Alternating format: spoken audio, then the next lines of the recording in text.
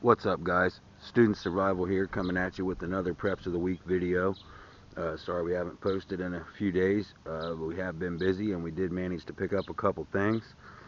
Um, a couple of them we're actually pretty excited about.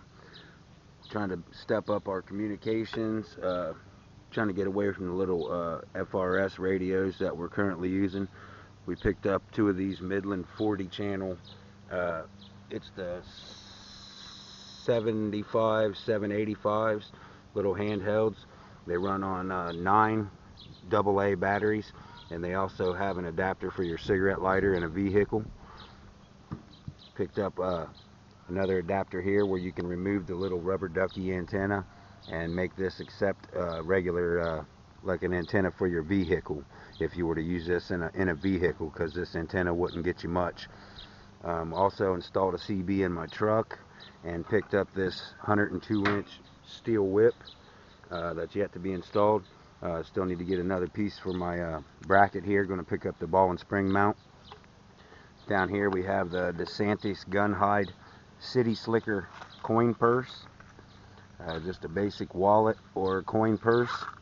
If you guys think that might resemble a sap, that's exactly what it's for.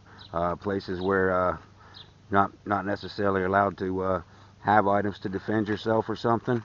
This is just a common wallet. Comes with a little clip here and an Allen wrench in the packet. If you want to adjust the clip up, down, or take it completely off, you fill this up with change and it's pretty hefty.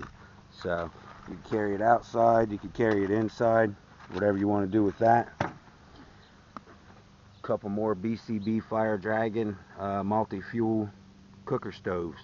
We really like these. Um, still waiting on the fuel to come in. Um, it's hard to find this stuff local. Uh, you pretty much got to order everything. Um, but we did pick up two more of those. Couple can openers, which we already have, but anytime we go to the surplus store, they got these sitting on the counter. Can't help but grab a couple more, give to your friends, family. Put one in each pack, tackle box, whatever. Couple P51s, P38s, over here we have a Johnson & Johnson uh, first aid kit. Uh, 140 items. Haven't even opened it yet. We'll probably do a separate video on that. Pick this up just to go behind the seat of the truck. Um, have little items on hand. You know, we're going to do a lot of fishing and stuff uh, with spring and summer coming on. Spend a lot of time outdoors, and uh, we do have children, so we like to keep stuff like that handy.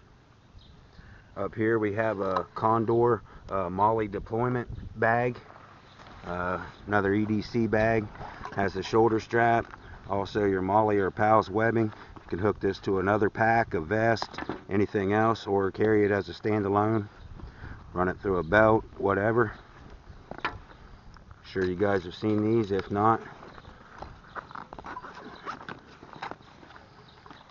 Couple pockets. You know bigger pockets places on the outside there's for your flashlight um, also has your MOLLE webbing on the outside to attach. Picked up another uh, holster for a can of Fox uh, defense spray right on the outside of your EDC and have it handy. You never know when somebody's crazy dog or uh, some dog owner's crazy uh, you know any anybody might get crazy. So it's good good to have some uh, defense spray Alright guys, this uh, concludes our preps for this week. Um, I will, uh, I do plan on doing a review on this bag. Um, I bought this to, to replace my EDC bag that I currently have. Um, I know I haven't posted a video of what that looks like or anything about it, uh, but I will soon. Um, but like I said, uh, this is to replace my current one. And uh, once I get everything squared away and situated, uh, you will see that. Um, so thanks again for uh, joining us for this week's Preps of the Week. We will have more content out soon enough, and uh, we hope you all had a great day, and uh, we'll see you in the next one. Thanks for watching.